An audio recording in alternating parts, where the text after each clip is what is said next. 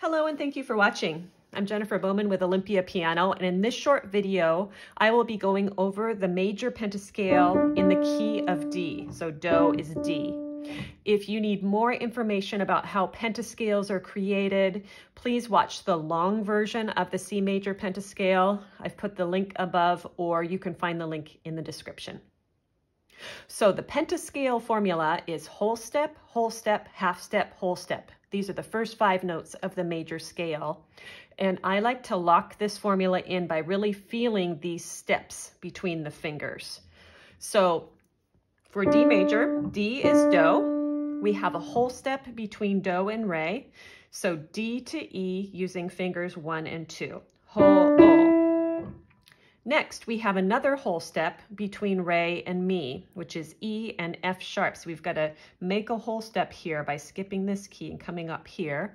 Whole step, E to F sharp using fingers two to three. whole, o. Then Mi to Fa, F sharp to G is our only half step in this pentascale. Get used to how it feels, especially with that black key there, using fingers three and four. Ha, F. And then finally, another whole step between Fa and So, G and A in this case, use fingers four to five. Ho, O, ho, O, ho, O, ha, F, ho, O. Let's play it up and down legato.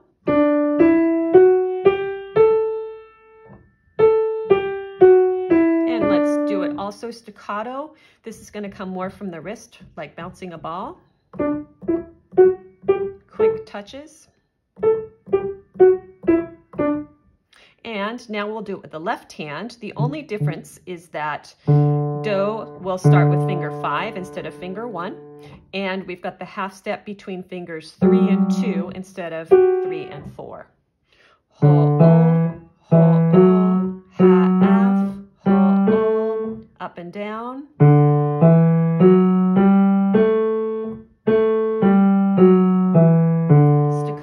Staccato.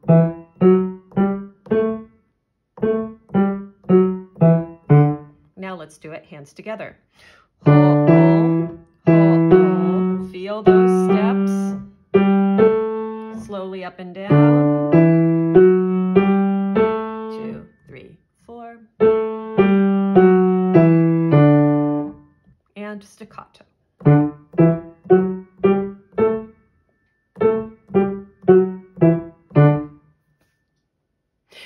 You very much for watching this short video on pentascales in the key of D major. I hope that you found it helpful and I hope you'll subscribe. I'm going to have all 24 major and minor pentascales up with short videos just like this. I also have videos on piano technique, piano literature, and quick piano tips from the repertoire. I love to hear from you. Please write to me in the comments. Let me know of your progress or ask me questions. And as always, thank you for watching.